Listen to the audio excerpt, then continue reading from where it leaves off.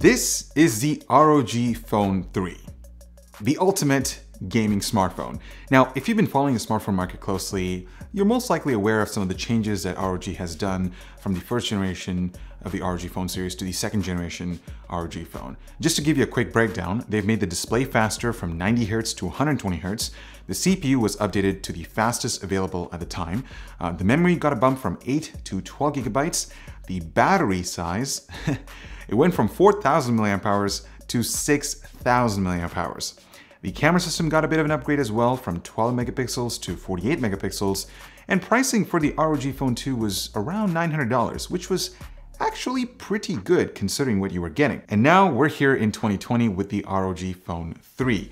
And just after taking a quick glance at the specs and some of the features that ASUS has improved on this phone, I gotta be honest, this is by far the coolest, most unique looking smartphone that I've personally come across. So let's check out what's new, let's find out what's new about the ROG Phone 3 right after this. What does it take to experience a compact, high-performance gaming notebook? You want specs that can meet the most demanding tasks like a fast CPU, up to 32 gigabytes of RAM, ultra-fast NVMe SSD, and RTX graphics. You also want something that's lightweight and easy to carry around. How about a robust optical mechanical keyboard with per key RGB lighting and a fast 144Hz IPS display? This is the new XPG Xenia gaming notebook. Check it out at the links below and game to the extreme. Okay, so I'm gonna kick things off with pricing for the ROG Phone 3. Now, I'm not exactly sure what the official pricing is for the United States, but I am aware that there are gonna be three variants of this phone, starting with the Strix edition that starts at 800 euros, and there is a regular standard model that comes with 12 gigs of RAM and 512 gigs of storage, which is around 1,000 euros. And the sample that I have over here comes with everything that you can possibly throw at it. Now, taking a look at the rest of specs, this is again an area where ASUS threw everything they possibly can to create a spec monster. So you're getting the Snapdragon 865 Plus SoC with 5G compatibility, up to 16 gigabytes of LPDDR5 RAM, half a terabyte of UFS 3.1 storage, dual SIM support, a 6000 milliamp hour battery, which is the same size as the ROG Phone 2, so nothing has changed there. So the first thing that stood out to me just after unboxing this phone is the design. I mean, it's obvious. It's a gaming smartphone made by ROG. If you look at their notebook lineup, their peripherals, their graphics cards, they're a class of their own, and this phone sort of follows that trend. You get an RGB logo at the back that's customizable through software. There's also an Aura RGB LED right around the camera that shines a bright light when you install the Lightning bumper case. It gives you a matrix LED layout that's pretty subtle, but you can also customize the colors through software, which is pretty cool. You see, this isn't your traditional flagship smartphone with a clean glass back and edge-to-edge -edge display. This is really designed to be practical for gamers, and I'll talk about that a little bit later in the video. As for size, this is a big phone. In fact, it's bigger than my OnePlus 8 Pro, which is already way too big for my hands personally, so you might have to get used to this form factor even if you have larger hands. Now, if you take a closer look at the ROG Phone 3 and compare to the ROG Phone 2, not a lot has changed from a physical standpoint. The display still expands around 6.6 inches, it's 1080p plus AMOLED HDR10 Plus certified just like the ROG Phone 2, However, they did bump up the refresh rate from 120Hz to 144Hz. It's also got a 270Hz touch sampling rate, the brightness levels have been improved as well, and ASUS also claims that they've improved the color accuracy on this phone. They say that it covers 113% DCI-P3, but out of the box, I did notice that it exhibits cooler tones compared to my OnePlus 8 Pro. There are different profiles that you can play around through settings, uh, and I ended up going with the standard one because the colors looked neutral to my eyes.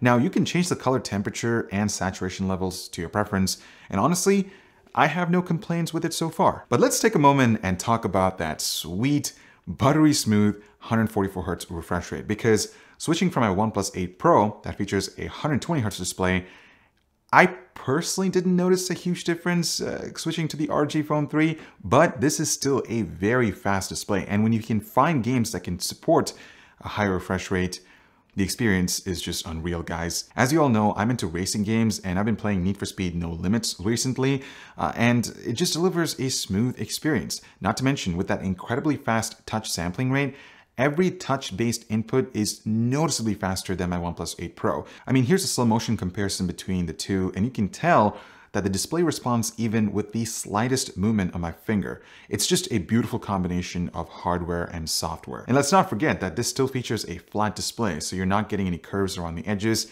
Thank you so much ASUS for keeping it that way. And you're also getting an in-display fingerprint sensor, which works pretty well. Uh, it's relatively as fast as the OnePlus 8 Pro, so I have no complaints in that area. Now, given the gaming brand attached to the smartphone, there are some features that they've improved from the ROG Phone 2. So when you're holding the phone in landscape mode, where the volume and power buttons are located, there are two invisible ultrasonic buttons.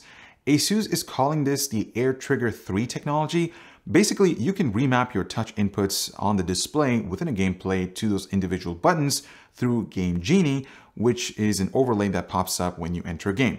So that way, you don't have to use your thumbs to interact with the game. Your two index fingers would do the job, uh, and those individual buttons come with haptic feedback as well, which is really nice. Now, with this generation of the ROG phone series, ASUS has added support for sliding, swiping, and creating two partitions per button, uh, resulting in a four shoulder trigger configuration. Now, I'm not a hardcore gamer like a lot of you out there, but having played some racing titles and some other games, I'm actually really enjoying using these air triggers because then I don't have to worry about using my thumbs. I can focus a little bit more on my gameplay and these sort of features make a lot more sense for a gaming smartphone because they are very useful and I'm sure if you're a hardcore mobile gamer, you'll definitely find these useful. The side-mounted ports are one of the signature features of the ROG phone series because you can simply plug in the charging cable while gaming in landscape mode, so that doesn't get in the way unlike your standard smartphone charging orientation. This port also acts as a hub for a variety of gaming accessories that ASUS will be offering, like a gamepad, a twin view dock, and a mobile docking station that gives you access to a bunch of USB ports, LAN jack, display ports, and an SD card slot. I mean, Asus is pushing the limits of what a smartphone can achieve and actually a level beyond that. So that to me is awesome. Oh, and I should also mention that in the box, you get this Aero Active cooler, which again uses these side-mounted ports to attach to the phone. It has an active fan that is designed to lower the surface temperatures on the device by 4 degrees while boosting clock speeds on the CPU as well. It also has a USB Type-C pass-through port and a 3.5mm audio jack, which I think is important because as you can probably hear, these fans, they do get loud, so you don't want your teammates listening to that versus your actual vocals. Uh, and the other thing I want to mention is that this does come with a kickstand, so it'll be nice. It's a nice little handy feature uh, for watching movies. Speaking of which, this phone has two front-facing speakers and they sound absolutely amazing. It's by far the best sounding speakers that I've listened to from a smartphone. Uh, and when you pair that with something like this, you've got yourself like a really nice portable movie theater or home theater. Uh, I think I'm definitely going to take advantage of this setup because it really is pretty awesome. Unfortunately, they did remove the headphone jack on the smartphone and I'm sure a lot of gamers might be a little disappointed with that uh, elimination because this is a gaming smartphone after all, and a lot of you most likely end up using headsets uh, to use this phone without any accessories installed. Uh, it just doesn't make any sense because the ROG Phone 2 had it.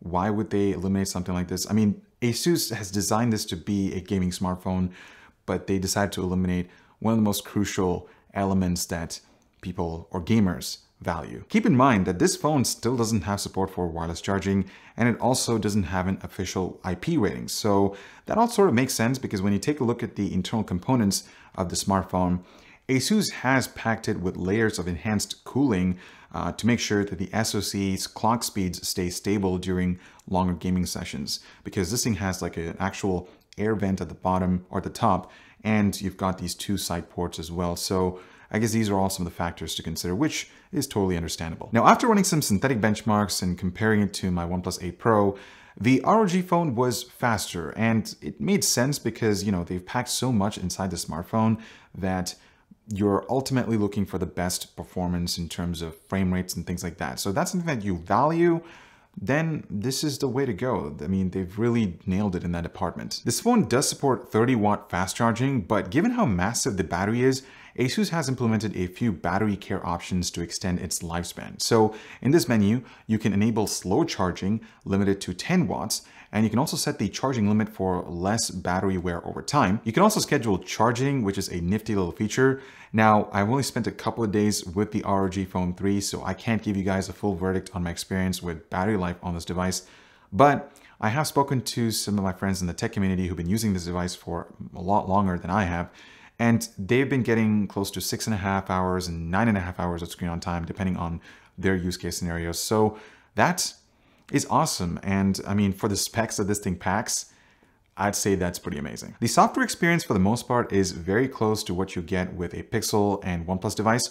ASUS has not loaded this thing with any bloatware applications, uh, except for Armoury Crate, which is the performance tuning app for the phone. In fact, when you're setting up the device, they'll give users the option to choose between a gamery style theme or a classic stock look, which is what I prefer.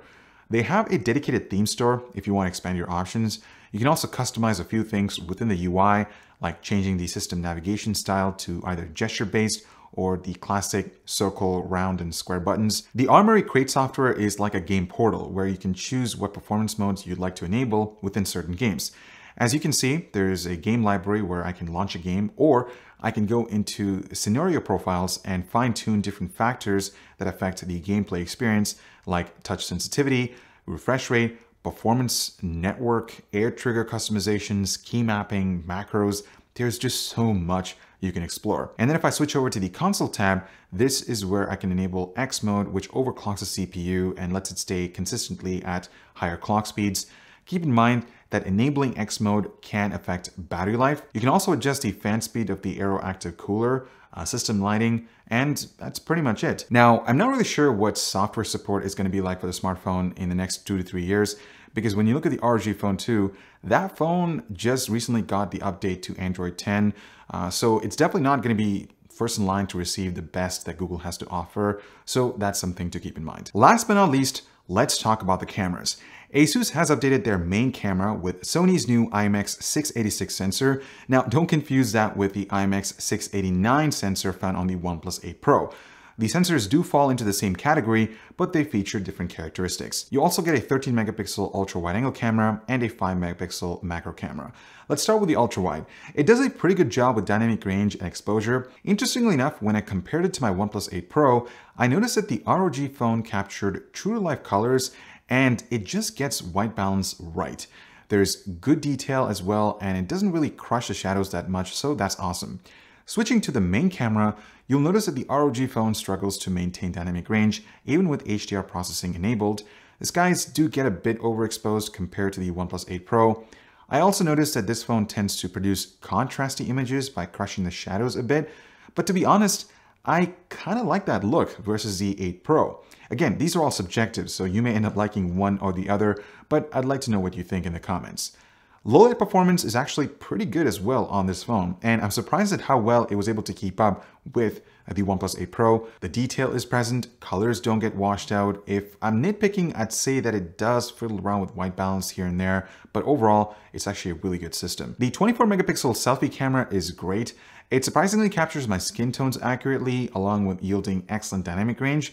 Uh, it does soften my skin a little bit, but overall, uh, I'm really happy with the results. So this is the front-facing camera test on the ROG Phone 3. Now, this phone can shoot up to 8K at 30 frames per second, but you do lose HDR and uh, image stabilization. Uh, but you can also shoot at 4K up to 120 frames per second, which is awesome. That is actually something that I've never seen from a smartphone camera, which is great. Uh, but yeah, um, it's loaded with video features, and uh, the sample, the footage looks really, really good. I love the dynamic range coming out of the sensor.